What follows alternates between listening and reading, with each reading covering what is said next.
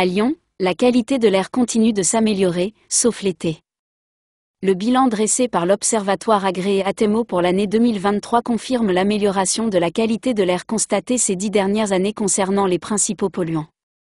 Le Figaro Lyon. Si l'air lyonnais n'est toujours pas bon à respirer, il s'améliore. Le bilan dressé par l'Observatoire agréé Atemo pour l'année 2023 confirme l'amélioration de la qualité de l'air constatée ces dix dernières années pour les principaux polluants une tendance consolidée alors que les taux de dioxyde d'azote et de particules fines PM10 ont été divisés par deux depuis 2007. Celles de PM2,5 ont baissé de 64%. Des points d'attention viennent cependant contraster ce tableau de long terme, notamment pour les particules fines, dont le niveau stagne depuis 2019. Sur le dioxyde d'azote, des dépassements sont toujours constatés le long du périphérique lyonnais.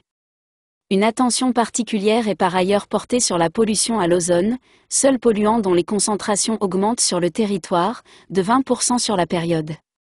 L'ozone est un polluant qui n'est pas émis par une voiture, une industrie ou encore le chauffage. C'est un composé qui se forme en quantité très importante dans l'atmosphère à partir de polluants précurseurs quand il fait beau et très chaud, rappelle Atemo. Le réchauffement des températures, estivales notamment, vient donc accroître la problématique ces dernières années. D'un point de vue sanitaire, il reste des efforts à fournir tant individuels que collectifs, pour préserver notre air et la santé de chacun, note l'Observatoire.